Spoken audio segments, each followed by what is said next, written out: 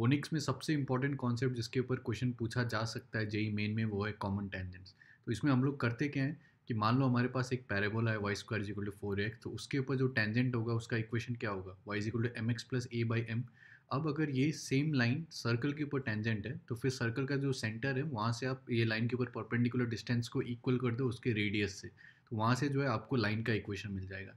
या फिर कोई भी सर्कल छोड़ के दूसरा कर्व दिया हुआ है तो वो कर्व में जो है आप लोग वाई की जगह पर m x plus a by m डाल दो। वहाँ से एक्स में एक क्वाड्रेटिक आ जाएगा, उसका डिस्क्रिमिनेंट को आप लोग ज़ीरो से इक्वेट कर दो तो वहाँ से जो है लाइन का इक्वेशन आ जाएगा। अभी स्क्रीन में आपको जितना भी क्वेश्चन दिख रहा है, वो सारे क्वेश्चन आप लोग सॉल्व करो और जो भी सबसे पहले सारे क्वेश्चन का सही आंसर कमेंट्स में लिखते हैं तो उसका कमेंट जो है मैं ऊपर में पिन कर दूँगा। बहुत बहुत धन्यवाद और अगर इस टाइप का वीडियो आप लोग को और चाहिए होगा तो कमेंट्स में लिखिएगा और फिर चैनल को सब्सक्राइब कीजिए। वीडियो को लाइक कीजिए और शेयर कीजिए।